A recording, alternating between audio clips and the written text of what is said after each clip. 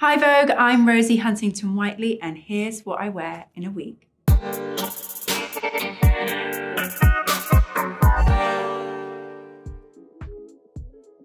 Okay, so this is a typical airport look for me, all about comfort, but still feeling really polished and stylish at the same time. So I have a bit of a knit situation going on here, kind of like a knitted suit. This is a look that I just purchased from The Row and I'm loving it. And then when I'm traveling, I always like to take a nice big bag, particularly if I'm with my son. I can keep my iPad in here, all of the things that I like to bring out on the plane. Jason just bought me this bag for my birthday, so I was very happy about that. He has impeccable taste, actually, amazing, amazing taste. So he usually knows um, what I've had my eye on for, for a while. He nearly always gets it right. And I have on my new Gia RHW sandals, thong sandals from my new collection. I would say I'm usually traveling between the UK and the States the most. I think in the UK, um, I feel the style can either be much more um, polished and elegant and um, classic, but at the same time, it can also kind of be a little bit more rock and roll and undone. And then in LA, everything's quite casual. And so I find myself being able to wear things like whites and creams so much more. And what I say I've learned from being in LA um, about style is it's okay to wear your, your um, jogging bottoms outside. Oftentimes, if I'm running from work straight to the airport, I will take with me an outfit to get changed into on the plane. And can I just say, whatever class you're in, whether you're in coach or first, on most of the planes I take, the bathroom is the same size. So get changed early on in the flight so you avoid any pee that has accumulated across the floor from our lovely male counterpart.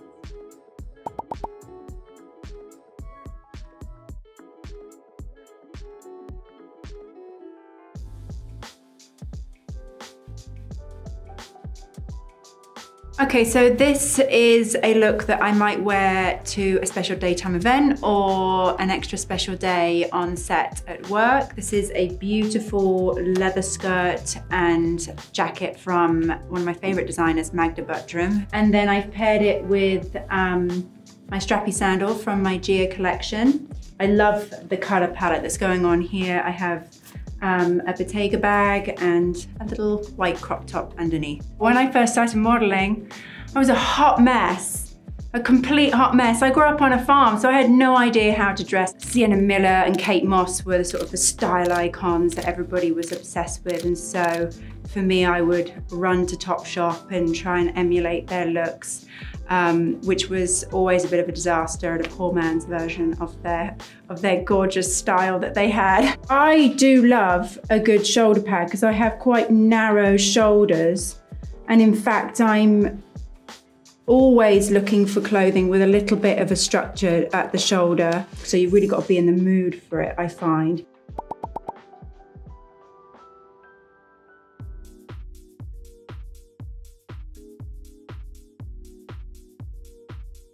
So this is sort of a typical everyday look that I might wear in LA. And this is typically something I probably wear if I'm going out with my son as well. Although I can hear you all going, she's wearing white with a toddler. What is she thinking?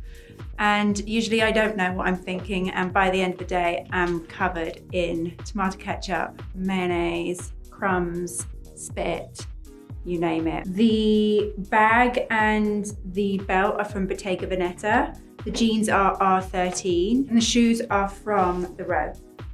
So I love a bodysuit. I love this Zara one is that it's a, can I say it's a thong on camera? It's a thong. the nice thing about a bodysuit is that they unpop. And that's all I'm gonna say. So if you do find yourself on a long car journey or a long flight and you did wear your bodysuit, you can always rest assured, just like a bra strap, it can be undone. You know, I've loved fashion since I can remember as you know, a young teenage girl. My mum and I used to bond over looking at magazines together. That was our sort of like girl time, mum and daughter time. At the time, she was my style icon all those years ago. Does everybody remember when Ugg boots first came on the scene? Me being what must, must have been 14, 15 at the time, could not have actually afford a pair of proper Ugg boots. So I seem to remember buying a kind of knockoff pair off of eBay, which I was so excited about getting. And when they finally arrived in the post, they went straight on my feet. I seem to remember wearing a denim cut-off skirt with them quite a lot. I remember kind of coming downstairs to sort of wear them out for the first time and my entire family just hysterically erupting into like hysterical, hysterical, like laughing, crying, tears because they'd never seen a pair of Ugg boots before and very much did not get the, the trend and the craze at the time.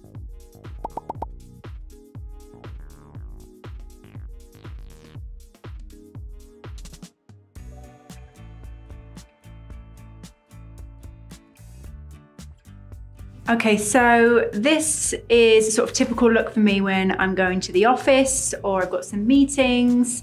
Um, I love a good tailored pant. These are um, from the Row. I love a trench coat, particularly in London because the weather changes throughout the day so much. This is another beautiful piece from the Row. And then underneath I have um, another trusty bodysuit. This one is from Hermes. Um, it's in this gorgeous stretch jersey fabric and I love the fact that it's backless um, gives it that little bit of an edge um, a little bit sexy. And then I have um, another pair of my shoes on from my collection. This is um, my amazing Bottega pouch bag, which I love. I have these in a few colors. So when I was 16, I interned at a modeling agency in London, hoping that I'd get to go on a photo shoot. And of course, I spent the whole week answering phones and sending faxes and photocopying and running around London doing errands and emptying ashtrays in the modelling agency and uh, making cups of tea and things like that. But it was an amazing experience. So I went back into the modelling agency about six months later after I finished my exams at school. And they took a few Polaroids and asked me if I'd like to go out on a casting. And I was just so ecstatic. And then within a few days, I was out on my first test shoot and um, well, the rest is history really.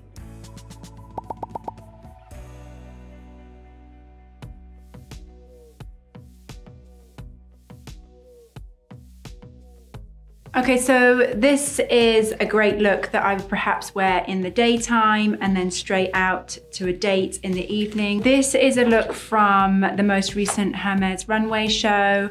I'm obsessed with it. I absolutely love the color combination here. And I have um, my woven strap heels on in the brown again, which I think look great. I think for me, a great way to take a day outfit from to a night outfit is obviously changing footwear. So if you're wearing flats, then you could throw on a pair of heels and that will instantly make you feel ready to sort of go out. I would say you could even wear a pair of sweatpants to dinner if you threw on a pair of heels and a great blazer. You know, I think the only thing that probably wouldn't take you from day to night is maybe, maybe a pair of dungarees. But I usually go out sort of once, maybe twice a week. We kind of like to keep things casual and real and laid back. Jason is so unbelievably stylish. When we went on our first date, um, he actually had this beautiful like tan leather bomber jacket from Hermes. I love that piece because it will forever remind me of, of our first date.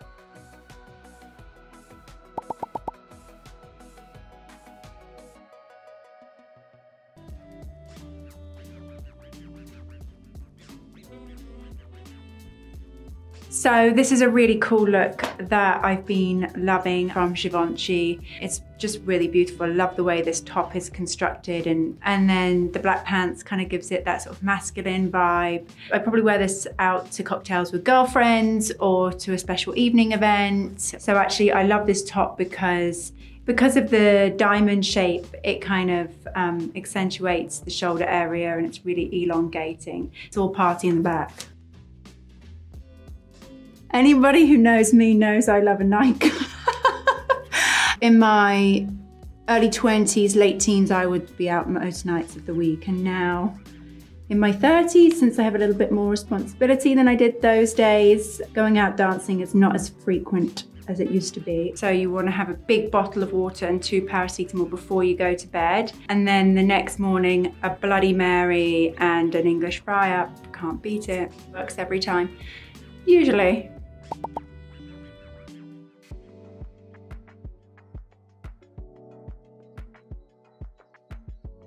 So this is a great little outfit that I would probably wear at home, hanging out with my family. This is um, Proenza Schouler. The shoes are my trusty mules from Bottega.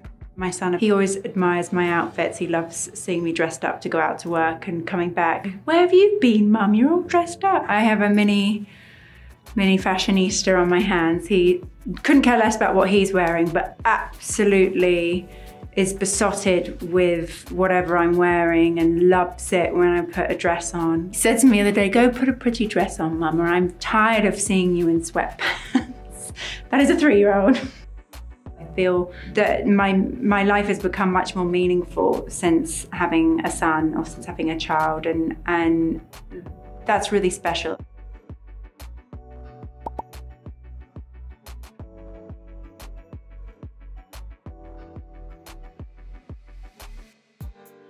Okay, Vogue, so there you have it. That's everything that I wear in a week. I hope you've enjoyed this as much as I have. I hope you learned something. I hope you that you bought something and I look forward to seeing you again soon.